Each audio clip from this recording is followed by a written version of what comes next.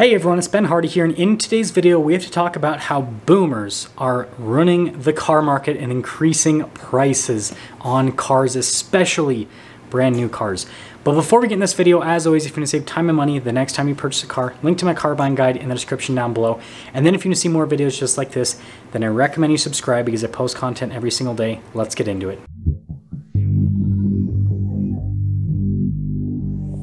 Now, before we dive into the data, I do need to mention this data comes from hedgescompany.com. It's demographic data basically on who is buying a car. And I find the data absolutely fascinating because it is showing a trend that I see in real time. And we're going to go over the data and then we'll talk about what this means for the car market. So, first off, the average age of a new car buyer is 53 years old, hence the title about uh, boomers.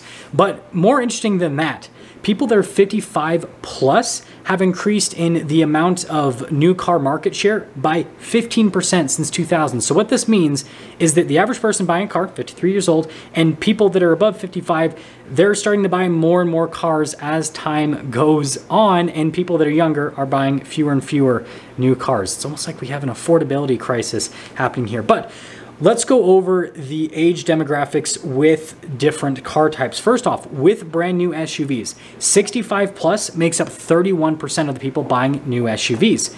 55 to 64, 26%. People that are 25 to 54, 43%. And people that are under 24 years old make up less than 1% of people buying new SUVs. And so, again, this just shows that most of the people, right over 50% of the people buying new SUVs, are over 55 years old. But obviously, SUVs don't make up the entire car market, even though SUVs are a pretty large portion of the car market. There's also stuff like sedans. Well, people that are, again, 24 and younger, they only make up about 1% of sedan purchases. 25 to 54, 51%.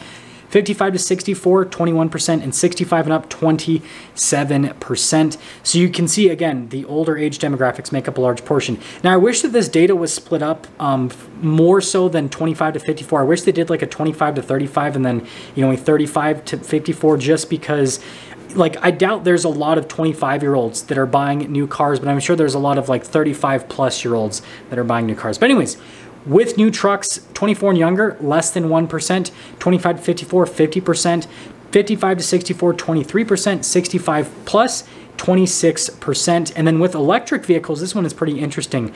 Um, less than 1% with 24 and younger. It's like all the, you know, younger people that you'd think would be jumping into electric cars because that's what they're all about. They're not buying them because they can't afford them.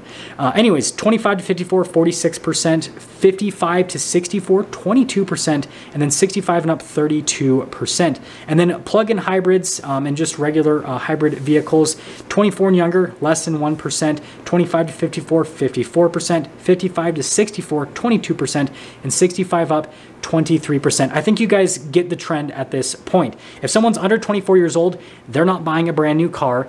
And if they're 25 and up, then yes, they do make up a large portion of the market share. But again, I wish this data, like I said, split up the ages a little bit more because I'm sure that it's, you know, the people that are 25 to 35, I doubt that those people are buying brand new cars. I'm sure that there's some, but I, I'm, I'm going to go out on a limb here and say that it's probably not a lot. Now to put the nail in the coffin, so to speak, when we look at income with car buyers, this really kind of paints a picture of what we are seeing economically within the car market. With new SUV buyers, 31% make under $50,000 per year for their household income.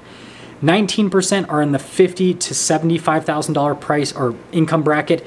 10% are in the 75 to $99,000 income bracket, and 40% the largest demographic purchasing brand new SUVs make over $100,000 per year. Now, if we dive into new sedans, 50, under $50,000, 39%, 50 to 75, 18%, 75 to 99, 9%, and then 100,000 and up, 34%. So there's actually more people buying new sedans that are under $50,000 per year, which makes sense because they're slightly more affordable on average. New trucks, this one's pretty crazy. Under $50,000 a year, 37%. Uh, 50,000 to 74,000, 20%, 75 to 99,000, 10%, and then 100,000 and up, 33%. This one kind of confused me because trucks are really expensive, like the, some of the most expensive new vehicles that people can buy.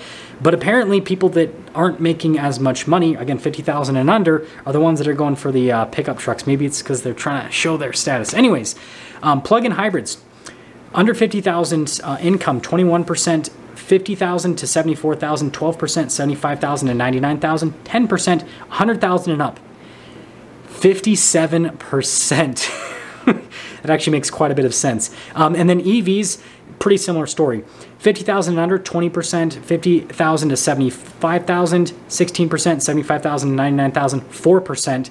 And then get this, once you go up over 100,000, 60%, which again, that just describes what we all talk about in the EV market. It's only like the super rich people that are buying EVs. Now, the last bit of data that I want to go over is home ownership.